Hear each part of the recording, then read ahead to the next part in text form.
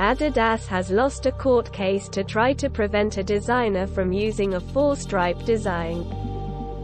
The sportswear giant argued that Thom Browne's four stripes were too similar to its three stripes.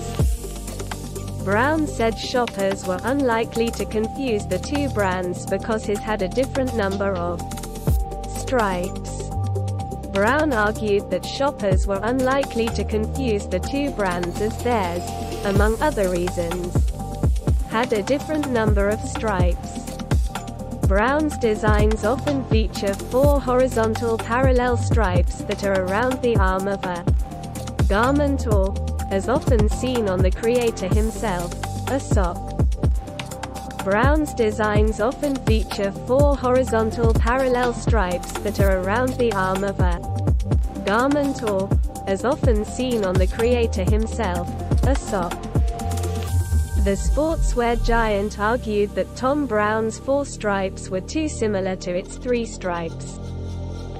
The sportswear giant argued that Thom Browne's four stripes were too similar to its three stripes. Sportswear does not dominate Thom Browne's creations and its output is aimed at rich customers. For example a pair of compression leggings costs 680, while a polo shirt goes for 270. Browne said shoppers were unlikely to confuse the two brands because his had a different number of stripes.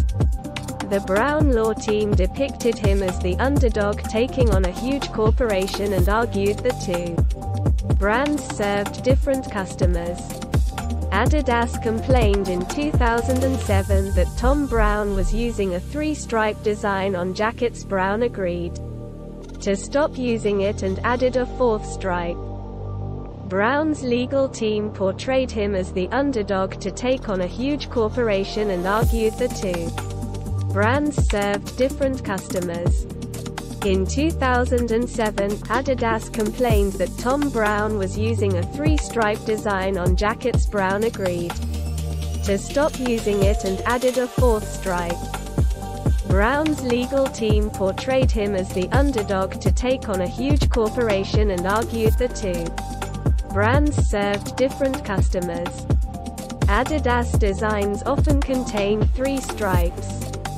Browne's legal team portrayed him as the underdog to take on a huge corporation and argued the two brands served different customers.